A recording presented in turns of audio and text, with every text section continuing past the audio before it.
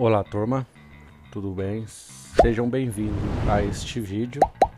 Vim trazer um vídeo um pouco diferente do apresentado do canal, pois há várias pessoas que me perguntam o que é desktop. Então, já deixa o seu like aí, se inscreva no canal se não for inscrito. Então, bora lá. O que é desktop? Muitos aí devem se perguntar é, o que, que é um desktop? Então, tudo sobre informática. Vamos aqui começar a primeira aula. Então, vamos lá. O que é desktop? Primeiro, vamos entender o significado de desktop. Ele se refere a microcomputadores de mesa, sendo uma palavra em inglês para o ambiente do computador principal. Literalmente, termo tem o significado de em cima da mesa. Pode-se dizer que desktop é uma palavra polissêmica, toda relacionado ao computador. Portanto, é importante que você compreenda totalmente cada um deles, para que possa usá-los e interpretá-los corretamente em cada situação. Observe que os seus componentes são independentes: monitor, teclado, mouse e gabinete. Então a gente tem aqui o monitor, o gabinete, o mouse e o teclado, tudo é independente. Aqui a gente tem um computador do tipo All-in-One, tudo em um, né? É uma variante do desktop. Ao pé da letra significa tudo em um. E temos aqui também um laptop, um, ou um notebook, né? É um computador portátil. Quais são as características de um des desktop? São computadores montados para serem usados de forma fixa em um determinado local e não transportado. Alguns de seus componentes são independentes, como a gente viu no, na imagem anterior. O monitor para exibição de imagem, o teclado e mouse para interagir com o computador e o gabinete contendo componentes como memória e processador. Neste sentido, o computador desktop é também chamado popularmente de PC, computador pessoal, gabinete CPU. Vale ressaltar que, uma vez que o seu computador desktop estiver com defeito e precise ser substituído, não será necessário trocar o seu monitor, a menos que o, o mesmo seja antigo e não compatível com os padrões atuais de conexão. Existem no mercado diversas opções de computadores desktop, cujo preço varia conforme a configuração de seus componentes internos. Ao adquirir um novo desktop, preste bastante atenção em suas especificações.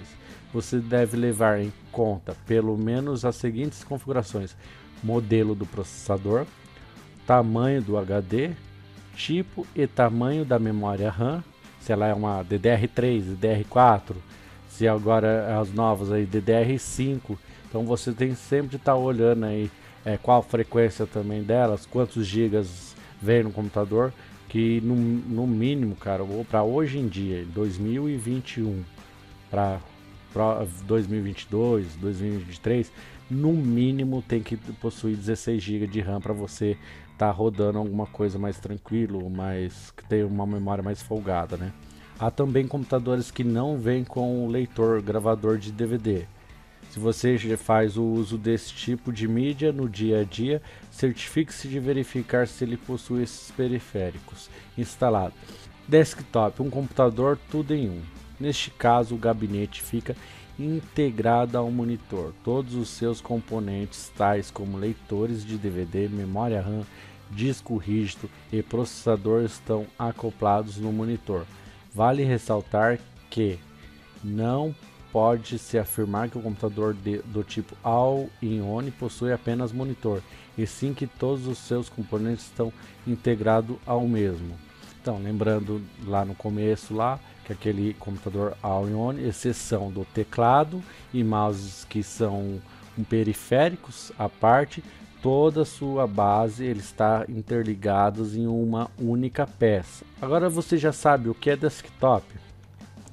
Sim, podemos dizer que sim. Entretanto, é importante frisar que o termo desktop pode ter ainda outros significados. Desktop como área de trabalho. Confira uma outra definição para desktop. Então, quando estamos utilizando o sistema operacional Windows, O desktop refere-se à tela principal do computador.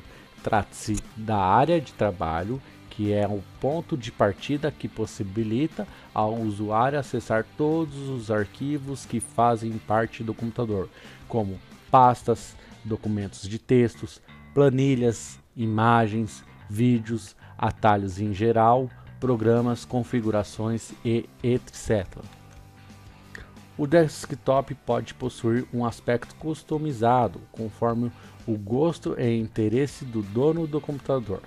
Cada usuário costuma manter os seus arquivos e atalhos mais utilizados e organizá-los na tecla de uma maneira diferente.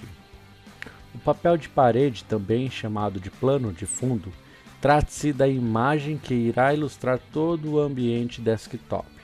Os elementos que situam-se sobre o papel de parede são chamados de ícones. Alguns dos ícones mais comuns no computador desktop são meu computador, lixeira, rede, meus documentos e painel de controle. Porém, todos esses ícones que estão na sua área de trabalho, você pode estar sempre alterando. Pode excluir eles, colocar outros. Assim que você instala um programa, um jogo, alguma coisa, ele sempre cria um atalho nessa área de trabalho. Para facilitar, como já diz, atalho é para você não entrar em todos as pastas até achar onde está instalado, para clicar no ícone para ele abrir. Então você cria um atalho nessa área de trabalho para facilitar é, você é, acessar de uma maneira mais simples e mais rápida. E por último, e não menos importante, temos também o tradicional e conhecido menu iniciar, tratando-se da barra localizada na parte inferior da tela e que possibilita acessar todos os recursos existentes no computador.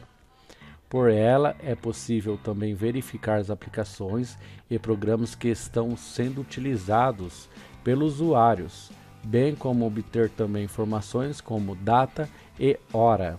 Então aqui a gente tem uma imagem ilustrada, né, um segundo significado para o termo desktop, trata-se de, da área de trabalho do sistema operacional.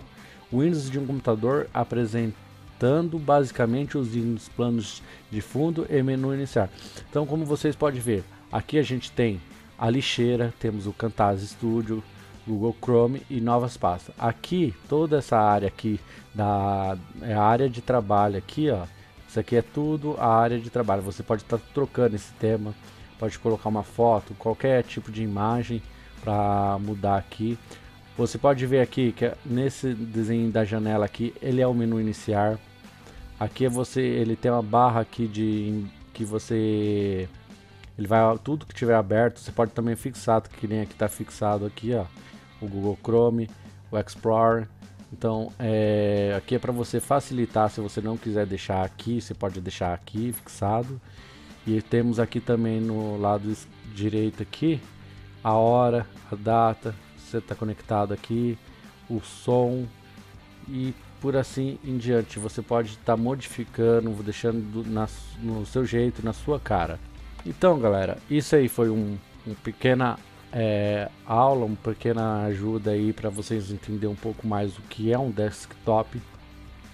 Pretendo estar tá trazendo mais vídeos referente à informática aqui para estar tá ajudando vocês. Se vocês estão com alguma dúvida, deixe aí nos comentários que eu vou poder estar tá trazendo aqui, poder ajudar todos vocês. É, se gostou, deixa aquele like para fortalecer o canal. Me segue aí também no, no Instagram, playagame.br. E é isso aí, galera. Falou e fui.